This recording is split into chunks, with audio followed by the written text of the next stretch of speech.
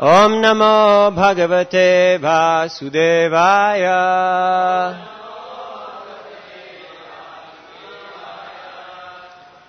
Today we're reading from Srimad Bhagavatam, 10th canto, 83rd chapter. Draupadi meets the queens of Krishna. And we're reading text number 27, 28. 27 is on the board. Divi dundu bayone dur. Jaya shabda yuta bhuvi.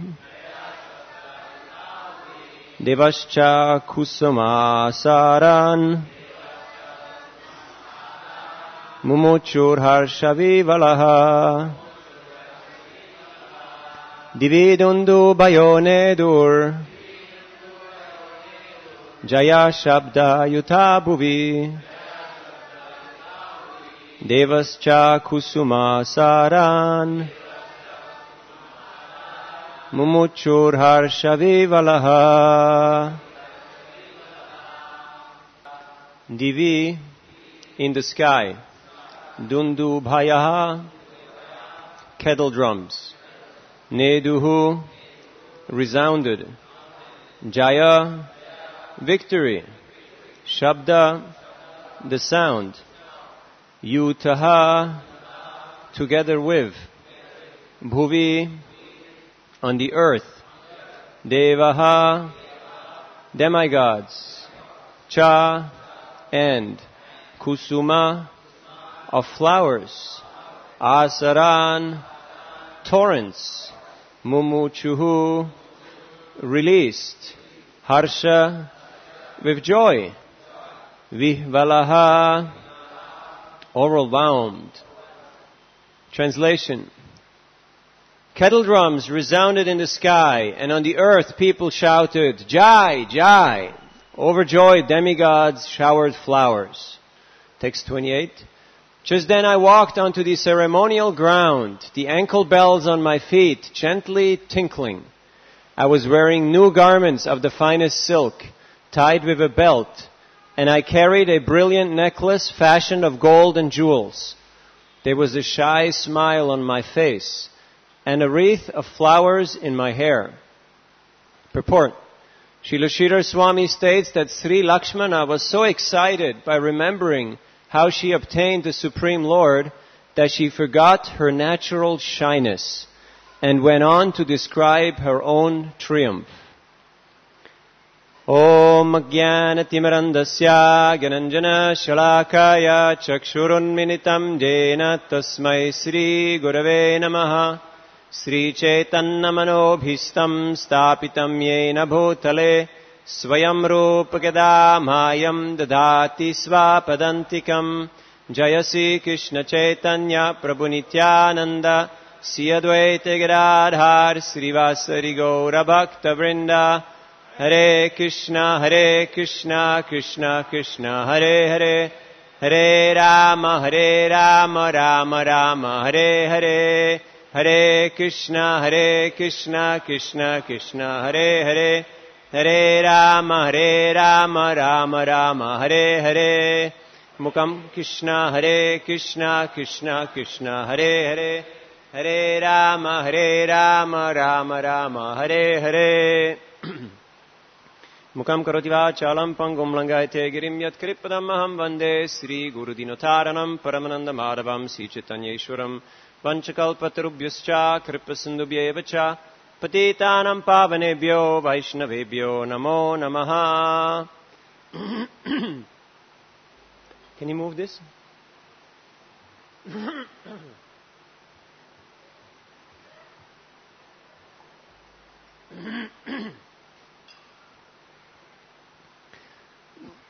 Thank you. Hare Krishna. So here in this particular section, we hear of the different marriages of Lord Krishna. Krishna is the Supreme Personality of Godhead, and he married 16,108 queens. Here in Kurukshetra, everybody is assembling, and the eight principal queens are telling their story. And in the previous verses, every queen spoke one verse. And here Lakshmana is speaking 22 verses about her wedding. And the acharyas explain that is because she got so excited about remembering how Krishna married her that she forgot about her natural shyness. So today, we'll attempt to speak about shyness, humility, dependence, and absorption. Now we are unqualified to talk about these topics for obvious reasons.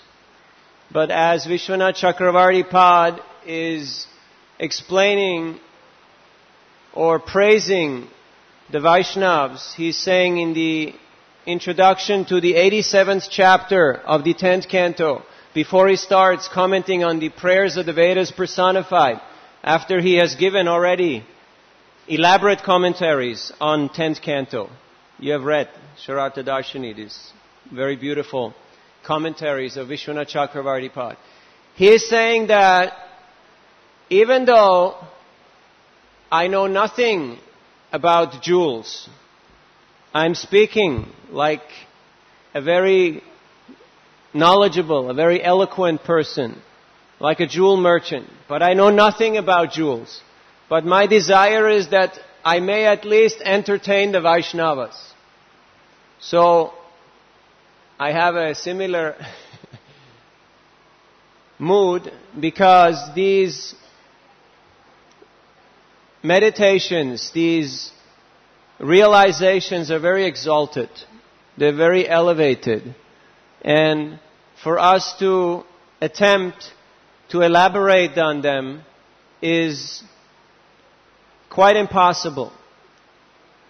But we're trying to focus on what we have read by Srila Prabhupada and the previous acharyas and to give some insight. So, Lakshmana, she's very absorbed. She's very absorbed in meditating on Krishna and speaking about Krishna's glories and Krishna's exquisite beauty and his activities and how he uh, won her heart. Now you might say, how can this young girl know about Krishna? How can she know about Krishna? She's living under the care of her parents. She is not going anywhere. She has never met Krishna. How does she know about this boy?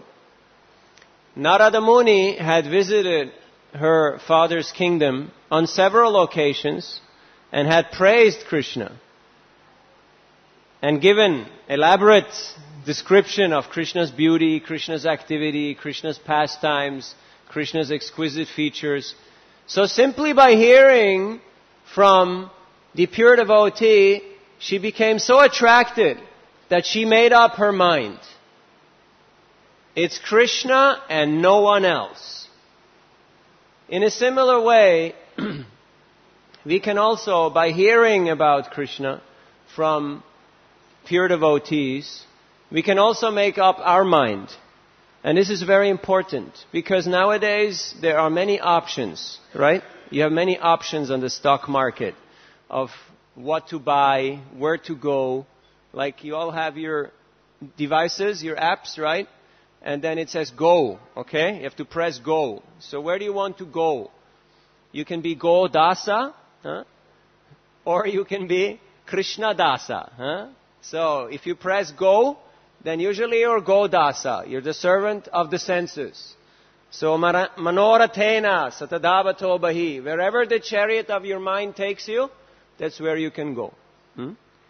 But a devotee is a person who is trying to connect his or her life with Krishna through the process of bhakti through devotional service. So they're trying to please Krishna, hmm? to give pleasure to Krishna, to connect their lives with Krishna in a meaningful way. Just like Lakshmana. As a princess, she had many options. And because of her status, because of her beauty, because of her wealth, there was many opportunities for her in life. But she made up her mind. It's Krishna and no one else. So, in a similar way, we also should make up our mind. Hmm? Now, of course, some of us may think my options are limited. Hmm? But still, on the chariot of our mind, the options are quite unlimited.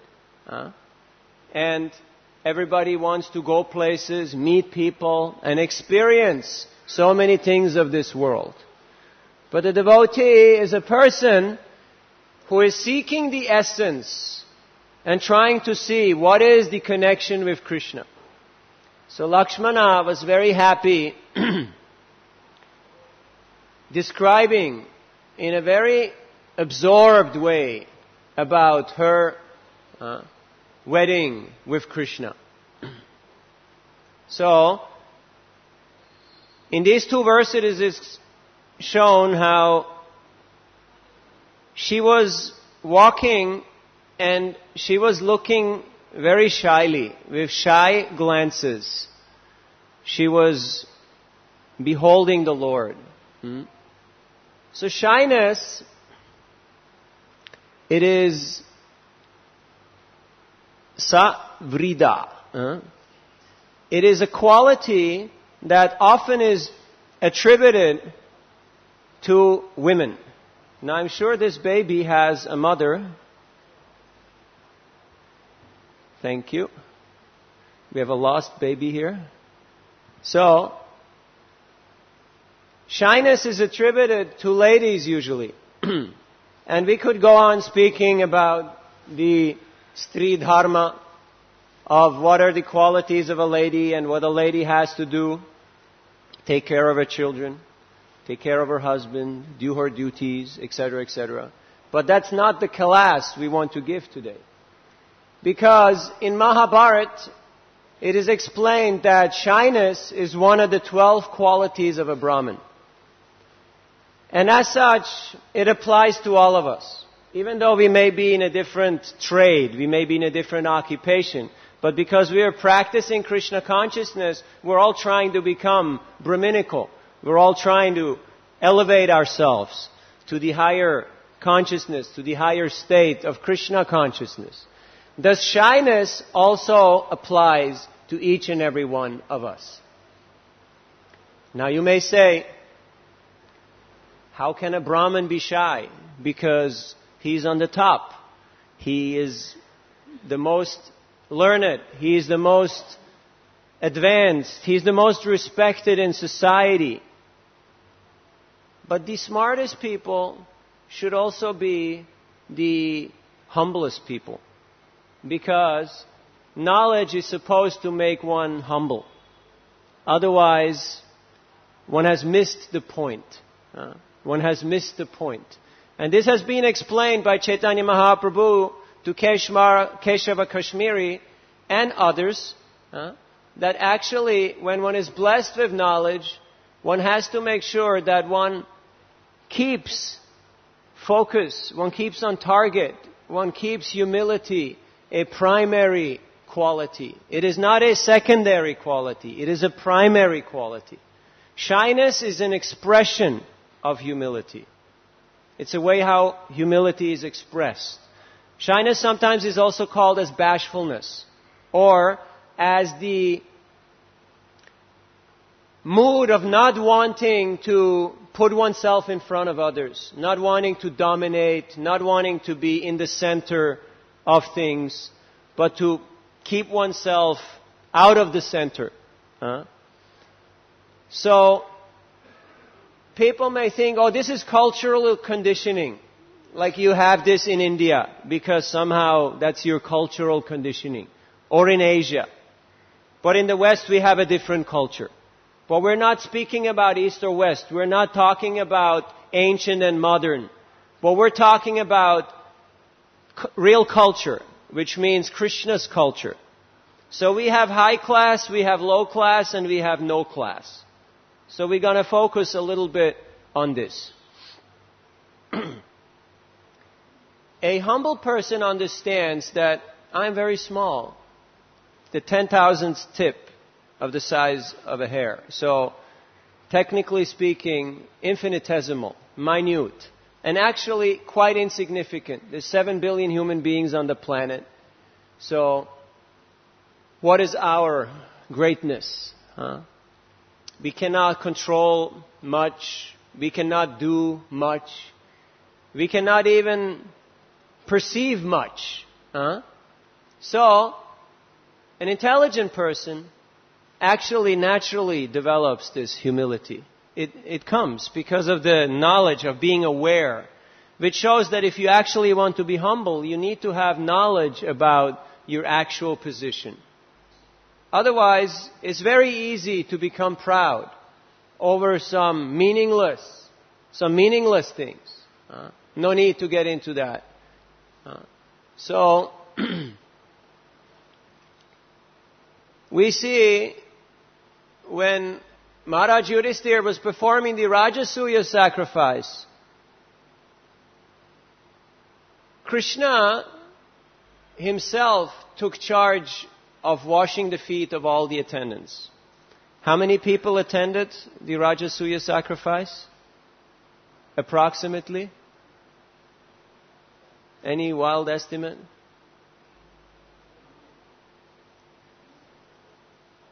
A lot of people. Yes, that's correct. A lot of people attended.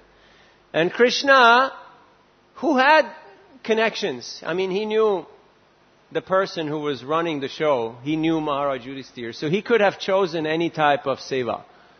But he said, no, no, no, I will do this seva. Why? Because he knew that most likely nobody will volunteer for this seva. But he also knew that Maharaj Yudhisthira is my dear friend and devotee. And if there is nobody to, to properly take care of the guest, it will be a great blemish. It will be a great blunder. So he did not want Maharaj Yudhisthira to feel anxious or that there is some discredit to this Rajasuya sacrifice. So Krishna took charge of washing the feet of all the attendants. you also know that Jesus, he washed the feet of his disciples and dried them with his own cloth to give an example, to show to each and every one of us that to serve others, especially to serve devotees, is not a duty, is a privilege. Huh? I was once in Amritsar, and I went to Golden Temple, and I met some people working at the shoe stall. They were business people from America. And they said, we flew first class from US to Amritsar and we're staying in five star hotel to be able to do shoe seva at the shoe stall for two weeks. That was their vacation. Huh? Flying first class, staying in five star hotel, but doing chappal seva in shoe stall. Hmm? They considered this is the, this is the peak of our year. We're allowed to do this service. So there's a lot to learn. Now, in different cultures, there's different attitudes. In the West, they say, in German they say, du sollst den Tag nicht vor dem Abend loben, which means you shouldn't praise the day before the evening has arrived, because you never know what's going to happen. Some people say you should not brag unless you're on the way home, which means you already conquered, you already done the job, so then you can brag, then you can, you know. But when Krishna, Arjuna, and Bhimasen went and they conquered Jarasandha, by some very interesting arrangement. Huh? They actually managed. But when they came back, it would be very easy for them to be very excited about the victory. Jarasandha, 27 battles, so much fighting, so much hardship. But what did they do? The Acharya said that they were very excited, but they were simply praising each other and deflecting. They were giving the credit to the other person. So Krishna was praising Bhimasen and Arjun Arjuna was praising Krishna and Bhimasen, in this way they would just, you know, pass it on, pass it on. So in the same way, when some credit comes our way, we can always just pass it up or pass it on. You say, okay, this is the credit of my spiritual master, of my friends. It's the credit of my team. It's the credit of, you know, of others because that is true humility. To understand it was not my doing. I just happened to be there. Hmm? Like that. So also at the end of her 22 verses, in the last verse, we just give you a little preview, sneak preview, she's gonna praise the other queens. Because they may think, who is this Lakshmana? You know, in chapter 58, there is one verse about her. The chapter is entitled Krishna Marries Five Princesses. Her name is not even there uh, in the chapter. But here she's speaking 22 verses in very detailed, elaborate description of her glorious wedding with Krishna. Now, who was the oldest amongst all the queens? Anybody can guess? Who was the oldest of all the queens? Now, Rukmini was the principal queen. Number one. But the oldest. Jambavati. How old was she? She was around since the time of Lord Ramachandra. So she could say, I'm senior here. You know? I'm, I'm senior most. Rukmini could say, I'm number one. She's number eight. Who does she think she is? But they were all so happy hearing about Krishna that they completely forgot all these kind of material estimations. Shrinvatasvakata Krishna Punya Shravana Kirtana Hridyantakstohya Badrani Vidunoti Suritsatam. When the devotees hear and chant about Krishna, all the abhadras, all the unwanted things, they become removed from the heart. And whatever is superfluous, whatever is a disturbance actually gets eliminated. Therefore the devotees always are eager to get together and hear and chant about Krishna. Also in the third verse of this chapter, it says, O Master, how can misfortune rise for those who have even once freely drunk the nectar coming from your lotus feet? This intoxicating liquor pours into the drinking cups of their ears, having flowed from the minds of great devotees through their mouths. It destroys the embodied soul's forgetfulness of the creator of their bodily existence. So a devotee is a person who is always very eager to hear about Krishna. Where is that Krishna Katha going on?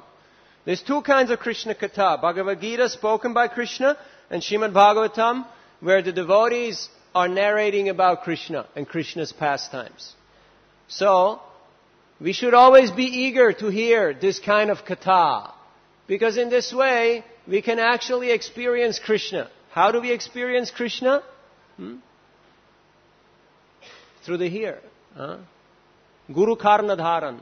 By paying attention, we can actually experience Krishna through the transcendental sound vibration, which is non-different from Krishna.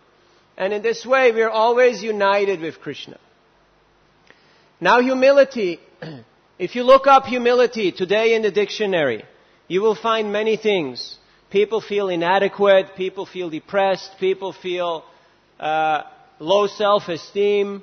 There's a lot of negative connotations. So if you write your CV, you know, curriculum vitae, if you write your CV for your job interview, don't put, I'm a humble guy. You won't get the job. I can guarantee you. You won't get hired, okay? Which may be a good thing. Depends on, you know, what your aspirations are in life. But humility is not scoring very high. People want to hear about assertiveness. Yes, he can get the job done, right? Like when you hear about Westerners, you think they're very loud, they're very assertive, they're very rash, they're very outspoken. And when you hear East, you think like, oh, gentle, soft, kind, spoken, you know, kind of eh, like that, right? But formerly, and formerly means just one or two generations ago, even in the West, humility and shyness was considered a virtue. It was considered something very extraordinary, something exalted. So this shows that just in a short period of time things can change. Now we can see how all the youth is going to the gym to get fit and buff. Huh? And in America especially, I have seen personal experience how the youth is going to martial arts classes, especially from Asian and Indian families, the children. So he will have little Abhishek Joshi. The guy is this skinny. You can see his dad was a Brahmin, his, his granddad was a Brahmin, and he should be a Brahmin. But he has to go to karate class. He can hardly carry his gloves, you know. He's so skinny. And he's so embarrassed. Because he's shy. But he has to learn how to scream and shout and kick and punch. Why? Because his dad and his mom think little Abhishek Joshi has to get ahead in the game. He has to be faster than all these other kids who came here. So therefore he has to learn how to kick and shout and, you know, make his mark in the world.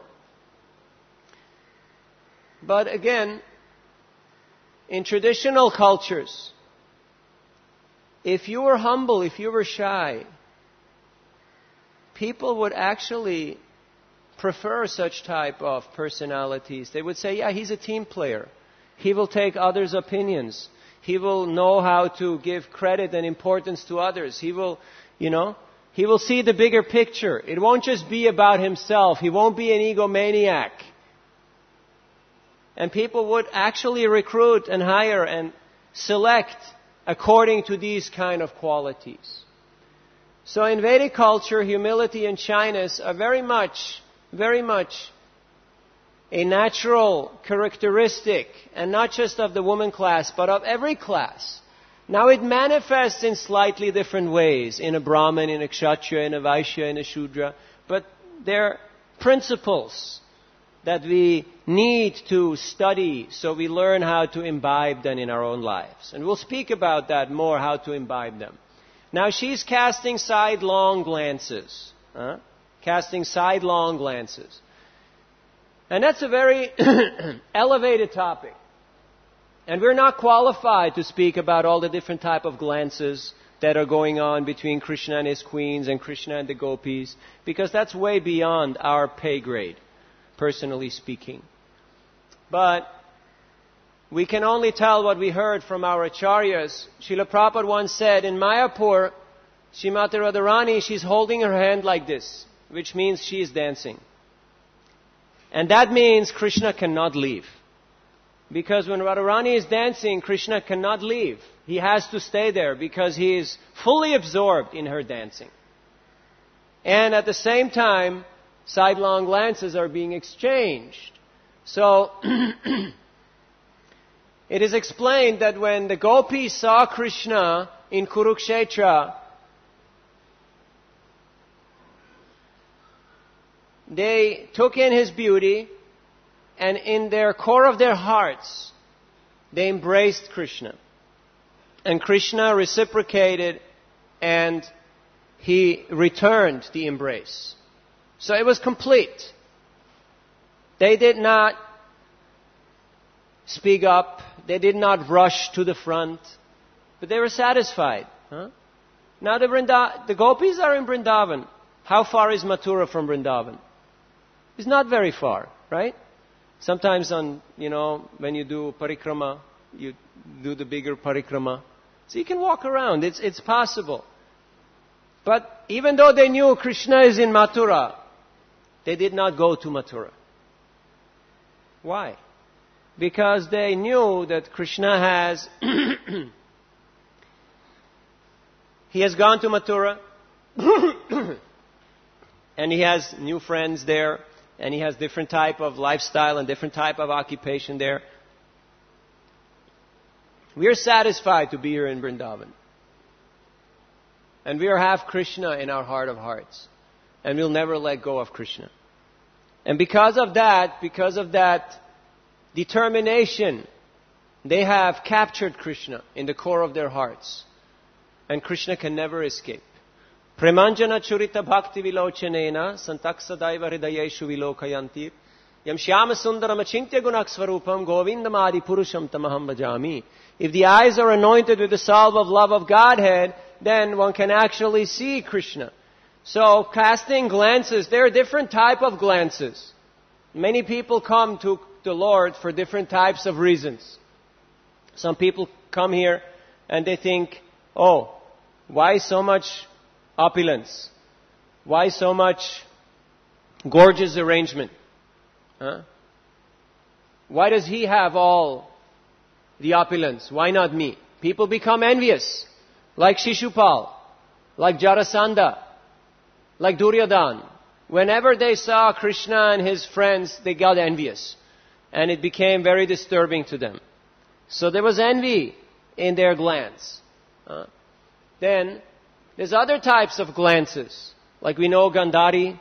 She's a very powerful lady. She performed austerity.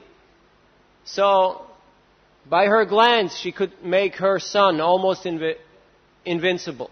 Uh, she could burn somebody's feet just by her glance. Hmm? Then we have uh, the wives of Krishna. They have a glance. It is explained in the Bhagavatam that when Krishna got up in the morning and after performing his duties as a dutiful husband and householder king, he had to go to office. He had to go to do the job. But he almost could not leave because his wives were casting shy sidelong glances. And because of those shy sidelong glances, they captured Krishna. And he could hardly leave. He could hardly get away. Huh? So this shows to us that when there is actual humility, when there is actual shyness, Krishna is very attracted. Krishna is very captivated by that. But what does that humility mean? It means there has to be knowledge about the greatness of the person. There has to be actual knowledge about the greatness of the person. And there has to be dependence. Because once you know somebody is very great and I'm very small, it means I'm dependent on them. So naturally, I am, I'm dependent. Huh? Just like where I stay, very close by, there is a small baby girl. She's just a couple of months old. And by the sound of her voice, by her screaming, I can realize that she feels very dependent on her mother. Because she realizes I only have mother, so there's nothing else for me. So her cry is very intense and very captivating. So in the same way, if we also cry out to Krishna, Hare Krishna, Hare Krishna, Krishna Krishna, Hare Hare, Hare Ram, Hare Ram, Ram Ram, Hare Hare. And yes, cast sidelong glances. Huh? Not staring. Huh? Not, you know, frowning. Of course, there are different types of rasas, different types of relationships that we will not elaborate on right now. But when we have this mood of dependency, of utter dependence on the Lord, Krishna will be attracted. He will feel obliged and he will reciprocate with the devotee.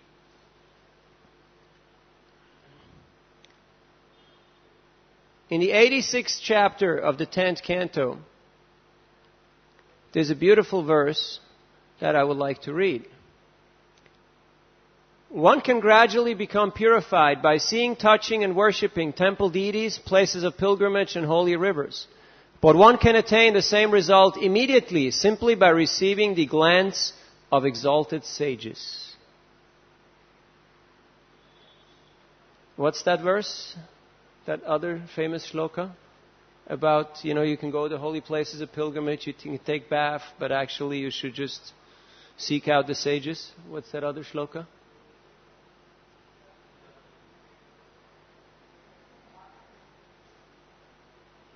How does it start? Don't be shy.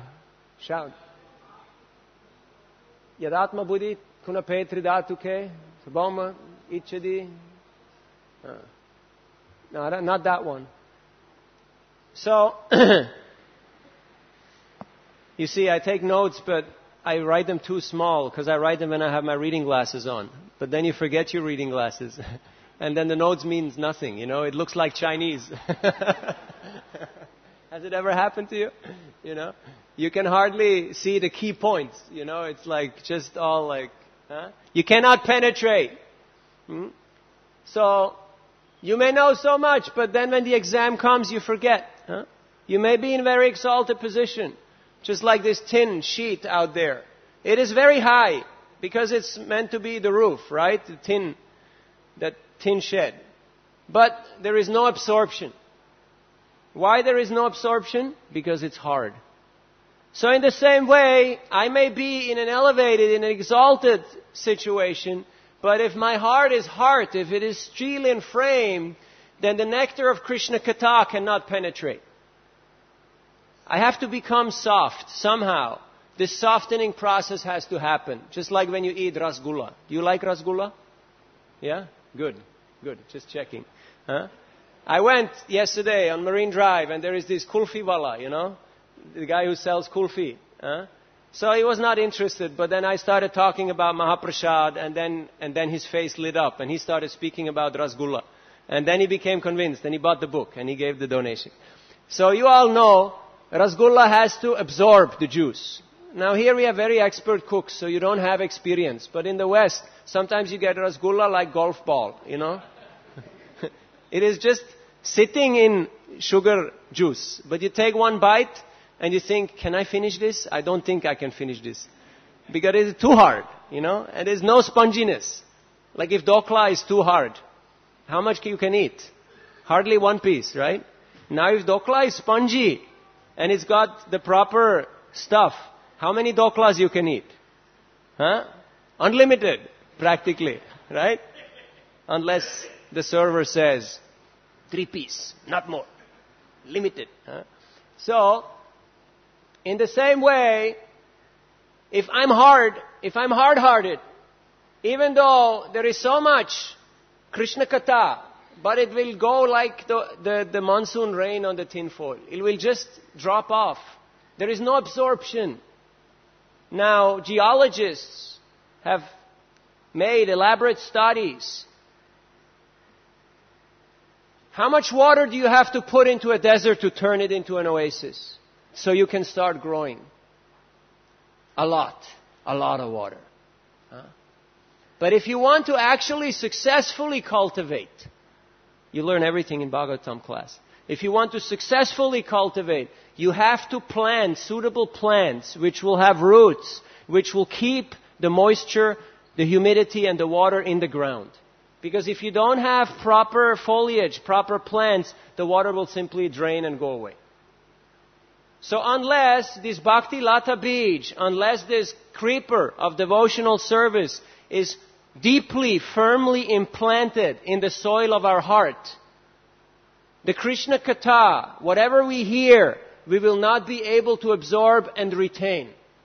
It will just go off on us like water on the back of a duck.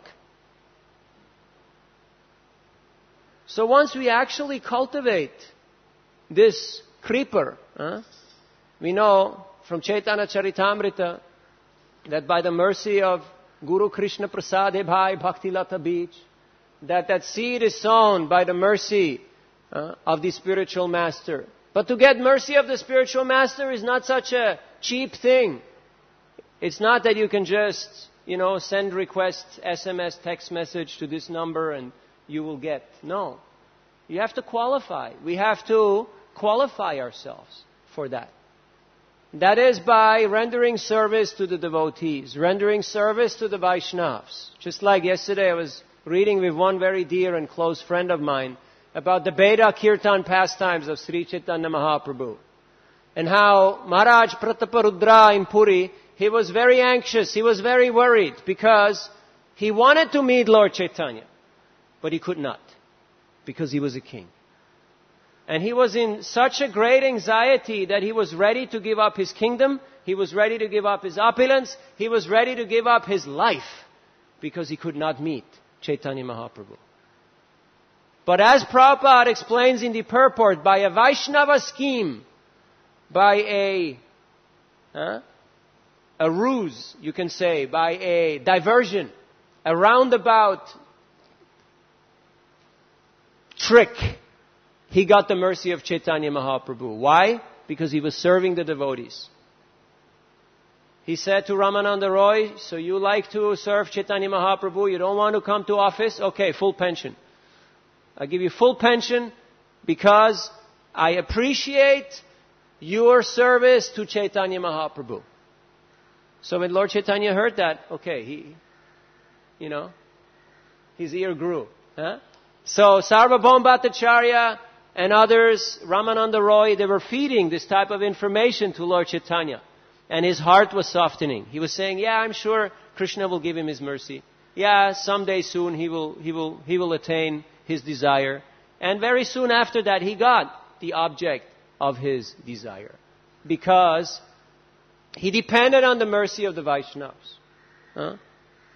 So in a similar way, if we develop attraction by selfless and humble service to the Vaishnavas, we can actually get the mercy, we can actually get the attention of the spiritual master. Now, spiritual master is always teaching us, always teaching us. Sometimes by directly instructing, sometimes through his students, sometimes through his uh, books, sometimes in dreams. Uh, sometimes he may speak to us. So, Srila Prabhupada, he always mentioned that my Gurudev has never been away from me. He's always right there with me. He never saw that there is a geographical or a time lapse between his Guru's departure he always felt he's right there with me. So one time we were in Italy with Srila Radhanath Maharaj and he was about to give initiation. And before going and sitting on the Vyasasan, he sat next to me and he said, now you have to pray for me. And then he went and he gave initiation. And I was thinking, why does he say that? You know? Like, why does he say that? I'm, I'm nobody. I'm, so he's showing me that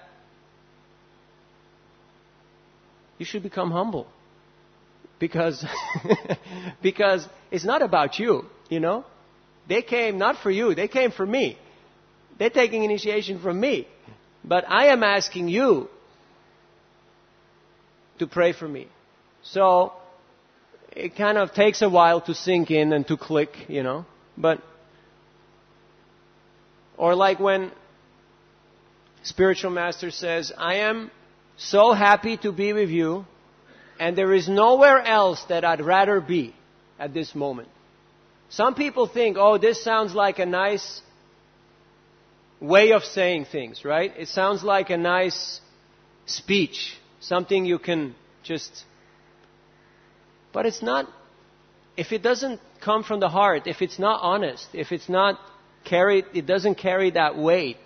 It will come across in a very strange, in a very, you know, if you know a person would rather be anywhere else but here. But they say, you know, oh, I, there's no other place I'd rather be but here. You can immediately feel it, sense it. But because devotees are, pure devotees are so humble, they're satisfied in whichever situation, in whichever position, in whichever place that they're in. And they don't want to be in the center of attention.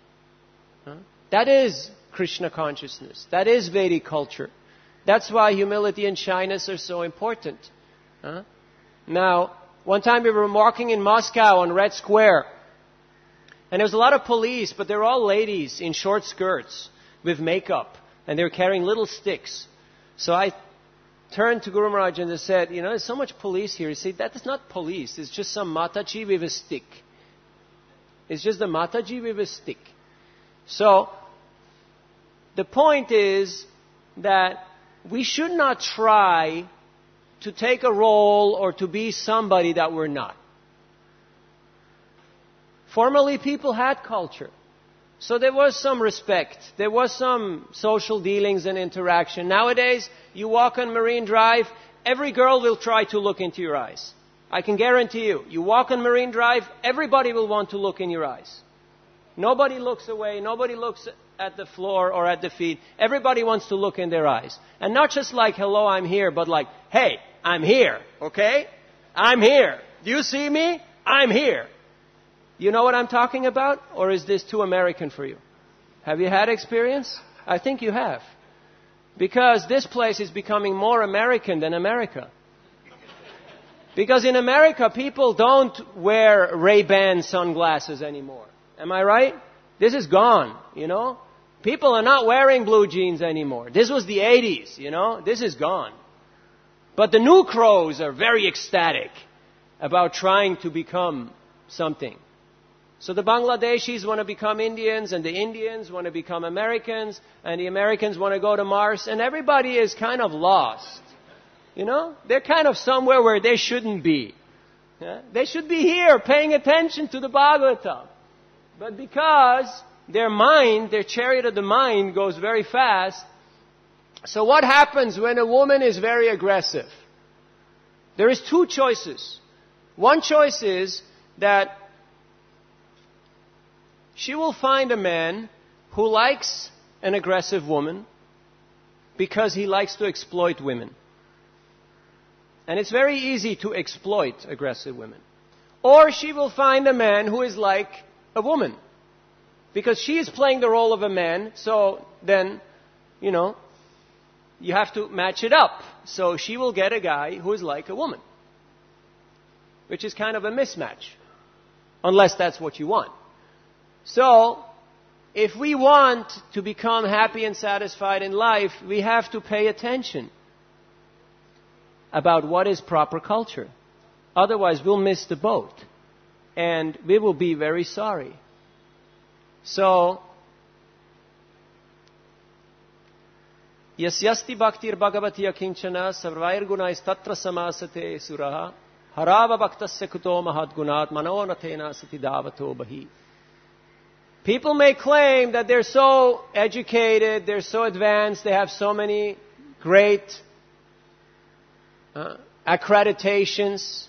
But if there is no bhakti, if there is no devotion, it is all simply for naught. It is useless.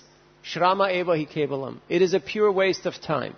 Now sometimes people come to the Krishna consciousness movement and they say, oh, Things were a little austere, things were a little rough, things were not so refined. It wasn't very professional. Have you heard these kind of comments? But the question should be, was there bhakti? Was Krishna there? Because if Krishna is there, everything else is okay. Everything is fine. And if Krishna is not there, even though you may be on the topmost planet, What's the point?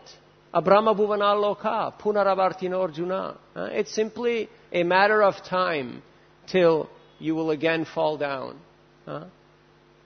So devotees are seeking for the essence. They're looking for Krishna. Where is Krishna? Where is Krishna? And in these pages of Srimad Bhagavatam, we have, we have gotten uh, Krishna by the mercy of the Acharyas. So cultured people don't want to draw attention to themselves. They don't like to draw attention to themselves. Unless your job occupation is that you are a joker, or a clown, or a prostitute. Then it's acceptable. You have to draw attention to yourself, because that's your job.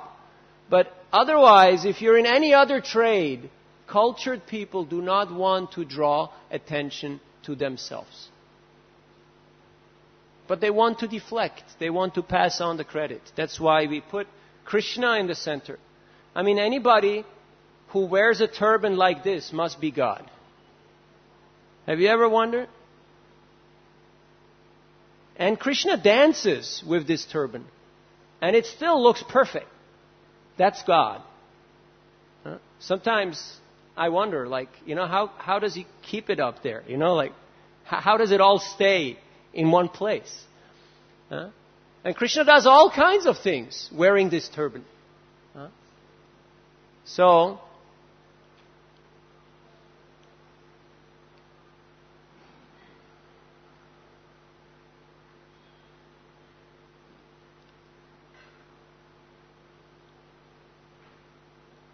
our ability to absorb and to retain can increase when our heart becomes more soft. In the association of Vaishnavas, by seeing their examples, we, we develop affinity, we develop affection, we develop appreciation, and we think, yes, let me also try. Let me also try to follow in this person's footsteps. Like in previous days, speakers, we saw one person was so absorbed, he was attempting to give a whole Bhakti Rasamrita Sindhu overview in Bhagavatam class. I don't want to mention any names. I don't want to embarrass anybody. But, you know, it's a big book and it's, it's a big topic. Rasa Shastra. It's very de- detailed and elaborate. And in very short time, he gave a lot of information. And he got so excited about speaking, you could see how he became possessed. Not only by knowledge, but by prema, by ecstasy, that he forgot time and place and circumstance. It's quite inspiring to see devotees who get so carried away being absorbed in Krishna.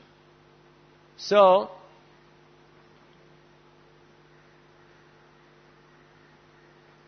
we have hope.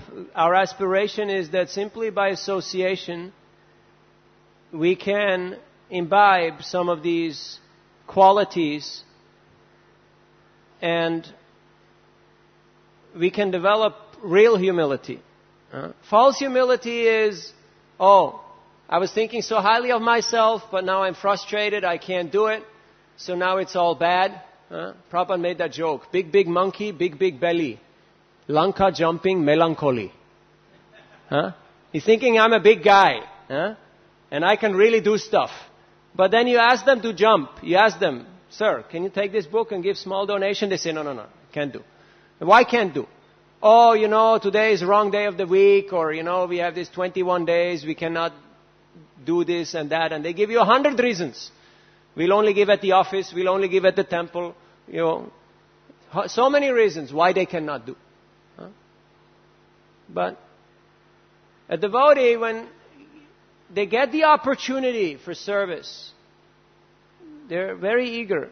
They're very much eager for service. Just like Prataparudra Maharaj was very much eager for service to the devotees. And because of that eagerness, his stock, his chances of meeting Chaitanya Mahaprabhu just very much increased. Because honestly speaking, you can meet the Lord in service.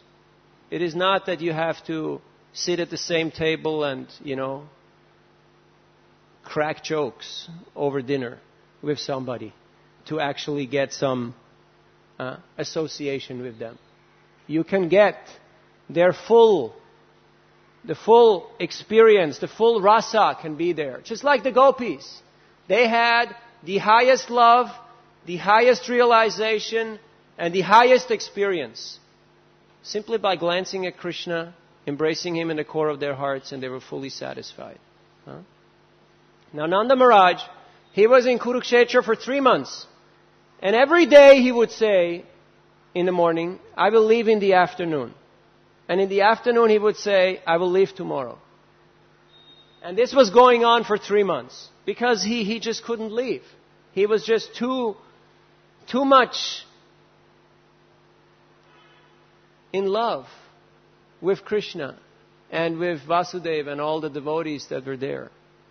So we have also been here for three months now, and even though we like to stay, we're supposed to go, but we can't go, so we have to stay.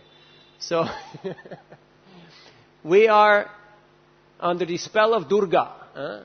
Durga? Durgama. She makes going very difficult.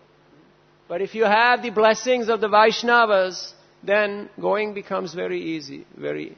Uh, so we humbly pray to get your merciful glance, sidelong or otherwise, and that we can move on and go do our seva. because we feel inadequate, we feel uh, misplaced. But somehow, by Krishna's mercy, we're allowed to be here and to get your association and to see so many uh, wonderful Vaishnavas who are deeply absorbed in service to Guru and Krishna. So I'd like to thank all of you for your tolerance, your patience, and your hospitality, especially the people who work in the guest department, previous, present, and future. There's a lot of turnover in that in that division, you know. so I'm already, you know, uh, speaking for the next generation to come. Uh, we have time for one or two questions or reflections.